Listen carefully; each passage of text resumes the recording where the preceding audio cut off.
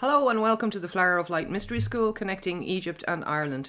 I'm Antoinette and today we're broadcasting from Trim along the beautiful Boyne.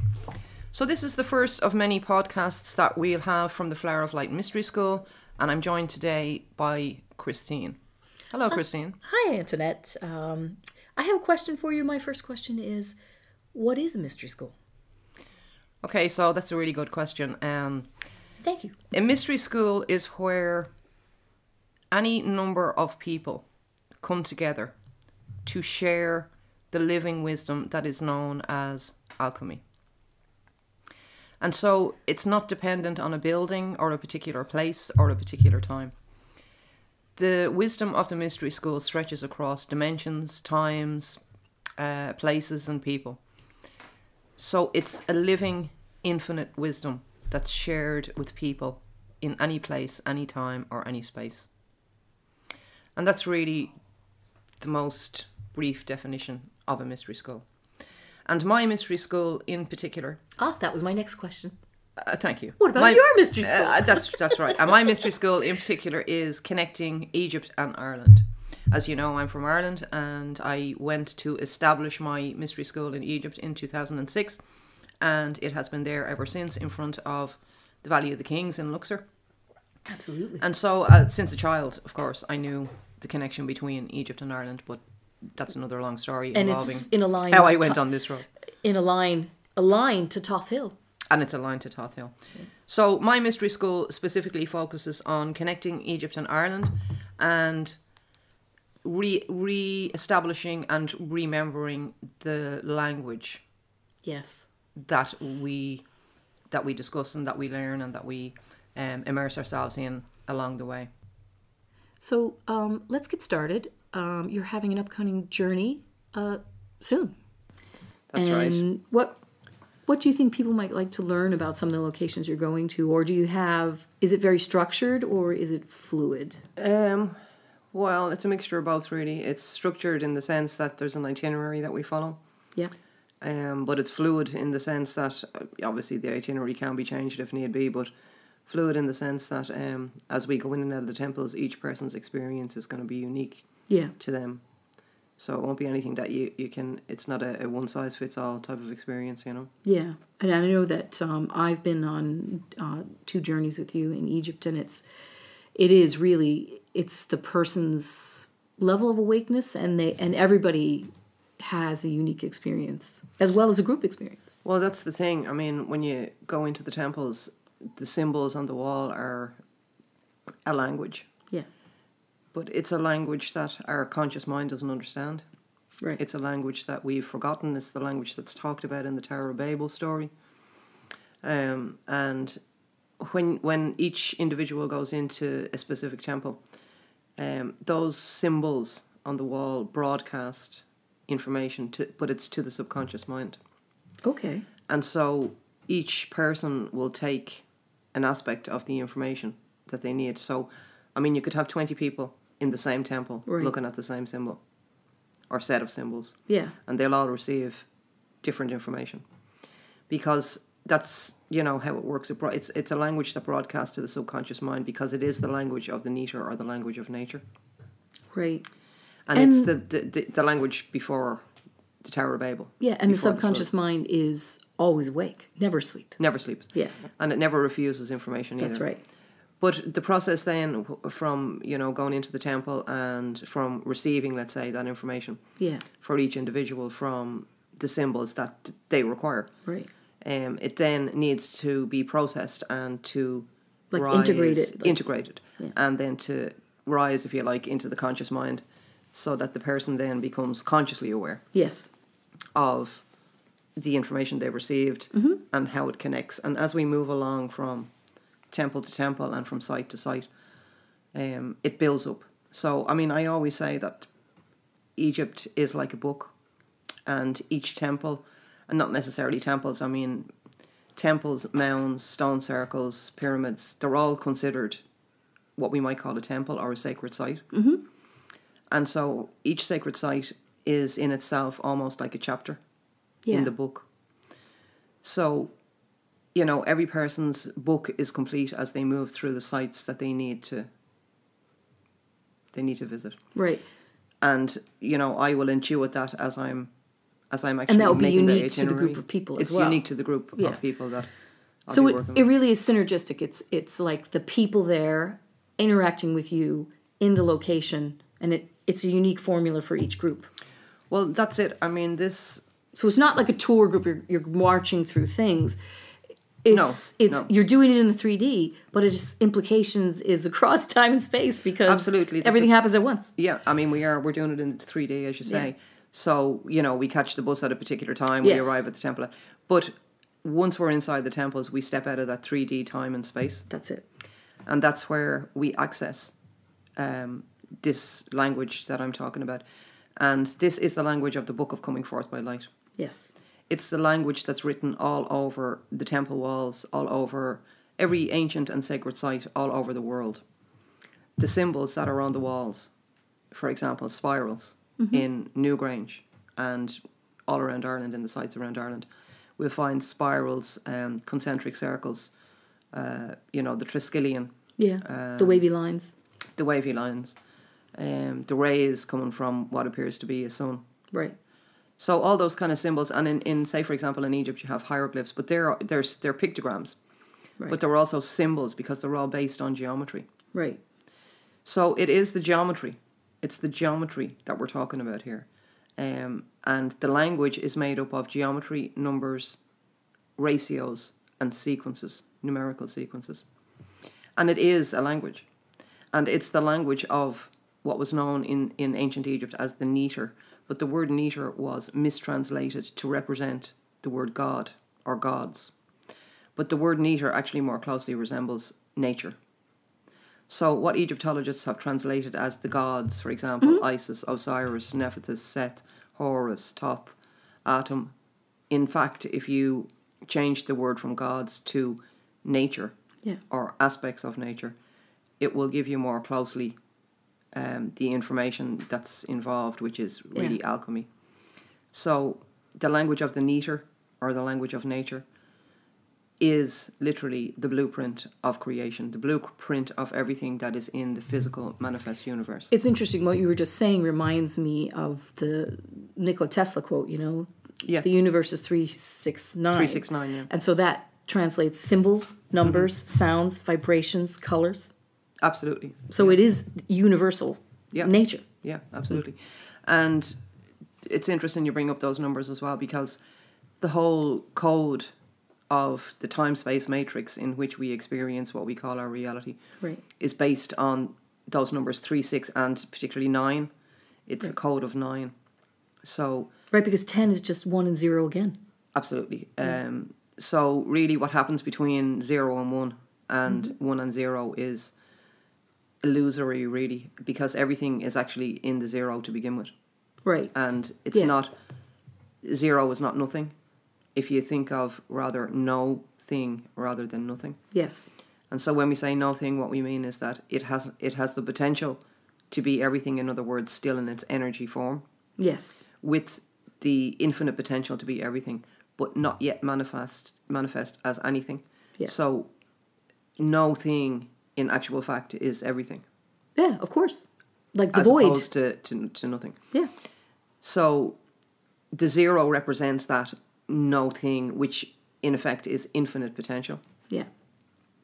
And the one represents that one infinite potential made manifest. Yes. And so from there, numerically speaking, we can trace out the pathway and the sequences and the steps of how energy collates and descends into physical matter. And that is the language that we're talking about. That is the language that's written all over these ancient sites. And it's not just written on the walls of the sites in terms of the symbols and the Yeah. pictograms. It's actually written in the unit of construction, the standard unit Right. of construction. So physically, the building The is building representing itself. it as well. The building itself, yeah. And a lot of people wonder why stonemasons, for example, are part of Freemasons? yeah, or Freemasons as are part of um, what we might call the Illuminati or the elite or the oligarch or the cabal. Yeah. Um, and people often ask, what have stonemasons or masons got to do with that? Well, the act of creating a temple Mm-hmm. or the very idea that you would have the blueprint to create a temple meant that you had the canon of proportions. Yeah. And building a temple followed the blueprint, the blueprint for creation, which meant that whoever had the knowledge to build a sacred site, a temple, meaning a pyramid, a stone circle, a mound, or what we might consider the more classic temple, Yeah. whoever had that knowledge, the standard unit of measurement, the numerical sequences and ratios, the geometry, whoever had that knowledge, Yeah. was following the blueprint of how the manifest universe came into being. Right. So the building of a sacred site in its standard unit of measurement, in its placement on earth, and in its relation to other sacred sites, recreates the act of the universe becoming manifest. As we've discussed before, people might not know that, but that's holographic in nature. So Completely holographic, yeah. So what you're saying is for the for people to understand the physics of it, the holographic universe, right?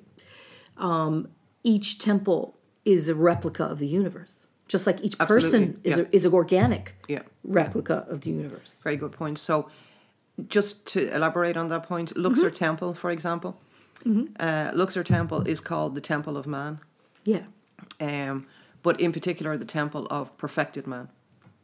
So, if we were Oh, that's interesting. Perfected man. perfected, it's not just the Temple of Man, and man, of course, meaning humanity, not man Male as in a male. We were female. talking about humanity. So, the Temple of the Perfected Being, I'll say, rather than Yeah. man. Um, so, for example, if you were looking down on Luxor Temple, if you were in a hot air balloon or a helicopter, and you were looking down over Helicopter. a helicopter, yeah, if you were looking down over Luxor Temple, um, what you would see is that the temple itself is in the image of a human body. Right. So you see the head, the neck, um, the chest area, the abdomen, Like the hips, even the, the leg hypostyle. Just to interrupt you for a second. The hypostyle hall is your ribs. is the ribs exactly. So just along the, na- the the line of what you were saying about it being holographic. Mm-hmm. So Luxor Temple contains all as as all the temples do. Right. Luxor Temple contains all, as I mentioned earlier, um, the whole of Egypt and the whole of the sacred sites in Egypt. When you take them all together, it's a book, and each site is a chapter.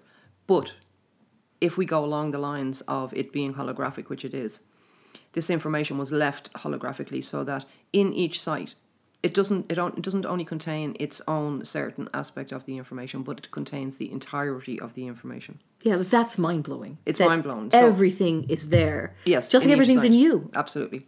So everything is in each site, Yes. in the entirety of the information. So I'll just give you an example as Luxor Temple. So if we consider the perfected being, the Mm-hmm. perfected being is is created according to the same blueprint that the entire universe, the entire manifest universe, was created. Wow. It's the same blueprint on smaller and larger scales. Yeah.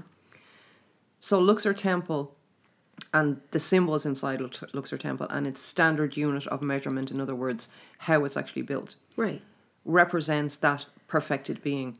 And the conception of the perfected being in Luxor Temple takes place in the area that represents the third eye. Ah, okay. So the whole of Luxor Temple is giving you the entirety of the information, which is explaining to you how the 3D world and the world of energy, spirit, or consciousness, whichever you like to understand it by, where those two realms meet. And those two realms meet in what we call the physical pineal gland Right. So it's like the pineal gateway. gland, the pituitary gland, and the thymus together, Right. the thymus together are the third eye.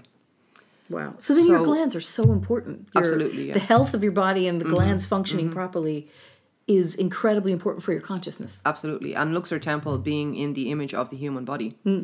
the human perfected being, Yes.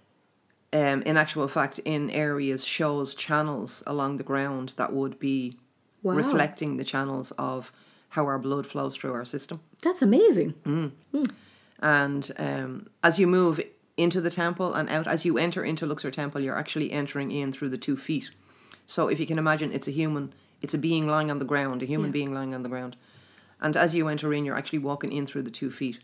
And you walk up into the area of the hips and the chest and the neck and into the head. But as you move up, You're also going up, right? You're, up. it's an elevation. It's elevated as as you move in through the head, and you're also moving in through each chakra. Right. So as you move further and further into the temple, you're actually moving up each chakra from your base chakra to your sacral chakra to your solar plexus yes. and on up into the third eye and the crown. And as you move out of Luxor Temple, having gone through all that and into the area of the head and then out the other side, you are doing a physical representation of moving up through all the chakras and out through the crown, in other words, ascension. Right. And so in Luxor Temple, Con- conscious conscious ascensions. ascension. In other words, with memory. Yeah, well, unconscious ascension is death. Yeah, exactly. Yes. Conscious, there is no such thing as death. Yeah, I agree. It's unconscious ascension. So we ascend whether we know it or not, but the Yeah. point is we, we don't remember. We That's don't. it. And So it's that's- considered death, and it's considered death for people who aren't aware of what Of what they are. Yeah. Consciousness is eternal. Yeah. So, so Luxor Temple, just to explain the holographic nature, Luxor Temple uh, encodes the entirety of the information. So, as we move on our journey from the south of Egypt, for example, in the temples of Esna and Edfu, which would represent our um, base chakra, moving from the base into the sacral, into the second chakra. So as we move on our journey over the 10 days, we move from the base chakra all the way up as we move to the solar plexus, which is in the location of Luxor. And then we move No on surprise. into the heart. Luxor, golden light. Golden light, Luxor, golden light. And as we move on up into see Abydos and Dendra, Mm-hmm. we move into the heart chakra. And then as we move on up to see Cairo, into Cairo and Giza Plateau and the Great Pyramid, we move into the area that represents the third eye and the crown chakra. And so you can see how the entirety of all the sites, and I've just briefly gone through them there, how all the sites in Egypt represent the chakras of the human body, the energy centers of the human body. Right. And so the path of the initiate, of the mystery school initiate, on their journey um, to awaken those energy centers would be literally to move from the temples in the south of Egypt mm-hmm. all the way up to the north to Cairo and to the pyramids at Giza. And that would be their final initiation in the greatest mystery school, which was the Giza. Yeah, and that is Plateau. just it's phenomenal what disinformation about that exists because it was so mystery, mysterious, right? People weren't allowed to know that. Mm. Like 'cause to me it just it it amazes me that people spend all the time and they go to Egypt and then they don't even know how the order of ascension progressed for the initiates in the mystery school, right? It was in order of from the base chakras mm-hmm. confronting things in the male energy and the female energy, depending right. what size of the river you were on. That's right, yeah, that's a very good point. So each site that aligns it's up not- along the Nile, Yeah. yes, very good, very good point. Each site that aligns up along the Nile represents either the male or the female energy. Right. And so when we're working on the east bank Mm-hmm. and, and the area, for example, of the rising sun in the east, Exactly. that would represent the male energy. And all the sites that are along the west bank of the Nile, which is the sun sets in the west, that would represent the feminine energy Yeah. and the subconscious or the unconscious, if you like. And so it's the movement between those two, between the male energy and the female energy, or the conscious mind and the subconscious mind. And it's the movement and the upward movement, if you like, Yeah. moving up along the Nile. If you can imagine, as you cross over from one temple to the other, you're actually making a helix shape that would represent the double helix of the DNA, So that's amazing. or two intertwined serpents. And that's like. that's the Kundalini energy. that's the symbol of Mm-hmm. the rod of Hermes. yeah. So um, the caduceus, Right. the intertwined serpents, and at the top you have what looks like a ball, and then two wings coming out. Right. So at the very top there is representing the Giza plateau, if you like. The ball would and the brain is at the same time, and it would represent the brain because the Giza plateau does represent the brain. Right. When I mentioned how Luxor Temple represents the perfected being Right. and how it's embedded holographically, Mm-hmm. well, the whole of Egypt, if you look at the whole of Egypt and the River Nile, and you think of the River Nile as the spine or the backbone, Or the Djed pillar. or the Djed Pillar, and the Djed Pillar was considered the backbone of Osiris. Right. So if you look at the, the River Nile and consider it as a, a, a backbone, as a spine, Yeah. you can see how, as you move up the north towards the Giza Plateau, how and where the pyramids are placed right at the base of the delta, Yeah. which would um, represent the brain, the area in the brain. And the Great Pyramid itself, between the King's Chamber and the Queen's Chamber, again, embedded holographically, represents the pineal gland and the pituitary. Yeah. And so, you know, why is that so important? Because the part, the initiate is creating a bridge between the conscious and the subconscious or the unconscious, if you'd like to say, Right. and allowing itself to rise above the 3D time space matrix that we call our reality. Yeah. and it allows once the conscious mind is the most difficult part of the being to convince because the logical mind is the part of you that will always tell you that the most beautiful dream you've just had is don't be so stupid it's just a dream Right. Exactly. And while you want to while while the feminine part of you wants to stay in that dream because it feels very real. Yeah. and, and it is. It's another part of you in a different dimension. And it's as real as the part of you that's here. Of course. but it's your it's your ego. And that you can also call your conscious mind your ego. Yeah. it's your ego that tells you no that was just a dream. That means nothing. Forget it. Don't think about it. And so what we're looking to do is convince the conscious mind we don't need to convince the subconscious the subconscious already knows And never forgets. never forgets. The subconscious is the creator, and the subconscious holds all the memories, all the information of everything that ever has been, ever will be, and ever can be. So some people might call it the Akashic record. it is the Akashic Records. Yeah. That's the Indian. And what we're looking to do is create a bridge between our Akashic Records, the Akashic Records, the information and the entirety of all, and our ego in this 3D time space matrix. And that and, so going to Egypt is going to facilitate that for people. Absolutely. And going to all the sacred sites anywhere around the world. Yeah, but I was just going to ask you a question, which is so I live in Ireland, you're from Ireland, we're we love Ireland, and how, what is the connection between Egypt and Ireland? And, Wow. and the sites in Egypt and Ireland because they're completely different, but they still exist. Absolutely. Well, the sites in Egypt, if you look at them, are um, in in in geometry and in this language that I'm talking about, the language of the universal language, Right, the language of one, the law of one. right, This is the language that we all understood. It's a telepathic communication, mm-hmm. and it is literally the language by which all matter and or sorry, by which all energy becomes matter. right, So it is an intelligent energy and an intelligent design.